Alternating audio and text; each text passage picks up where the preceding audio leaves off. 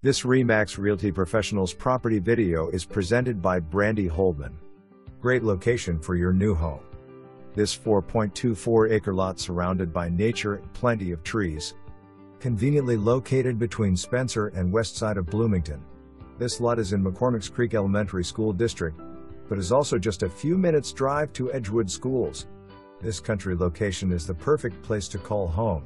It is close enough to everything, but also private enough for those desiring space and tranquility. This lot is located in eastern Owen County and only minutes to the Monroe County line, about 20 minutes to Bloomington and IU, and about 45 minutes to Crane Base. This peaceful lot is located in a small rural subdivision with only 14 other lots, all of which have already been sold.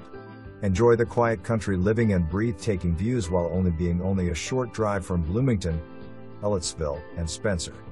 As an added bonus, Smithville Fiber Optic Internet is available now. Please see attached covenants regarding size of home and other lot restrictions. For more